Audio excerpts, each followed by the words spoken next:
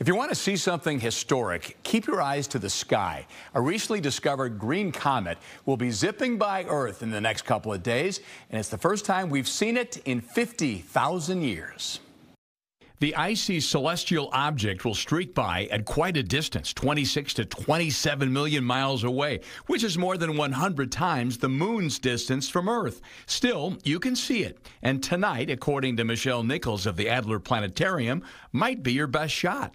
Just go outside, face north, look about halfway up in the sky, you're going to see the North Star, which is Polaris, go about 10 degrees to the northeast of Polaris. And you want to look with binoculars or a small telescope. You're going to look for something fuzzy. If you find something fuzzy, you probably have found the comet. Michelle tells us you probably won't notice the green of the comet that comes typically with long exposure photos, so just look for something fuzzy.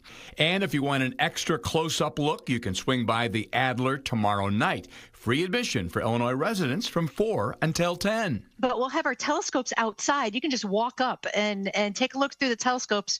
We're going to have the observatory open starting at 6 p.m., and it'll be open till 8 p.m. or until we might lose it with some clouds that might come in.